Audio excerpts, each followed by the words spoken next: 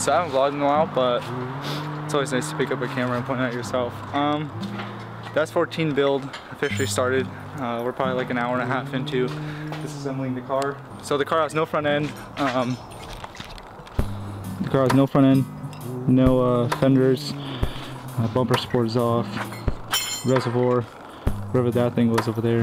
Um, I'm sure a lot more things have happened. Ruvim's been wrenching away, but um, I'm just trying to help him however I can. Currently the car's getting torn apart. We're gonna pretty much swap everything from this shell onto this shell right here. We're starting off with disassembling the whole front end, taking out the engine, and then um, Ruvim's gonna fix up this shell right here. That's been lightly hit up front, as you guys can see. So yeah, I thought I would just update you guys, kind of bring you in the loop of what we're doing. But that's pretty much it. I'm gonna start disassembling this thing a little bit more.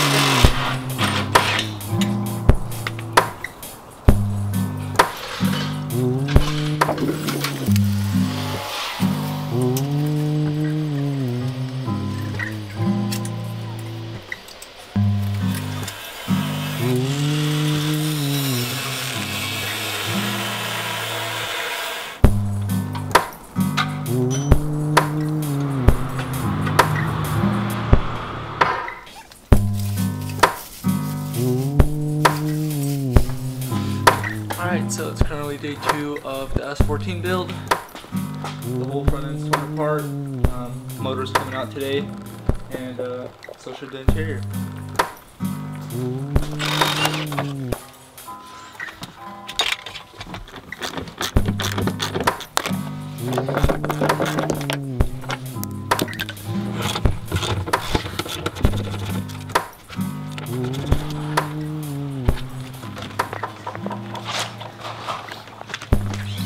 Alright, so this is currently where we're at. Both seats are gone. Driver's and passenger. The seat belts up front and rear are gone on both sides. I'm just about to start removing this trim. Then we'll remove the center console, uh, radio, and the AC and heat unit. So door cards can stay in because we're throwing these doors onto the other shell. And then everything up back here, the seats were removed when it was at my house. So yeah, not too much work. I'm currently just chilling. I'm gonna set up time lapse and uh, get all this trim removed.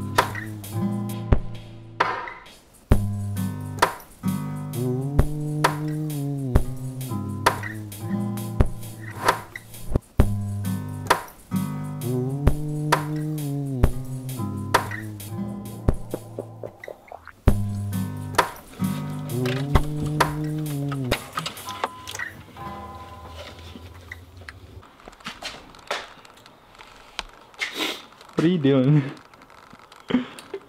Warming up my feet.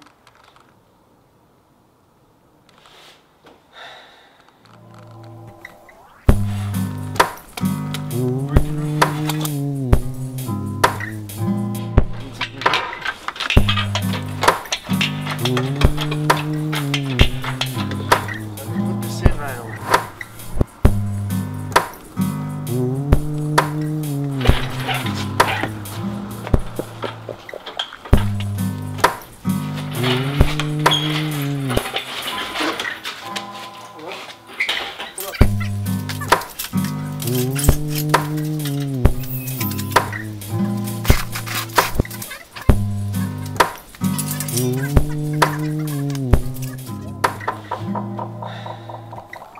You guys can see, quarter is clean. Just one dent right there, but nav inside skirt will cover up, and it's not too much Bondo work. So this shell is actually in very good condition, uh, besides the front end.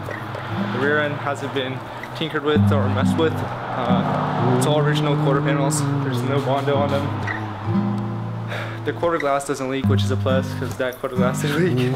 Um, but yeah, this shell is actually in like decent condition besides the front frame. Which is like, it's bad, but it's not as bad as that one. So yeah, this is the damage. Room's doing all the fab work. Uh, you explain more of it in the next episode. But I think this one I'll wrap it up. And uh, I'll catch you guys next one.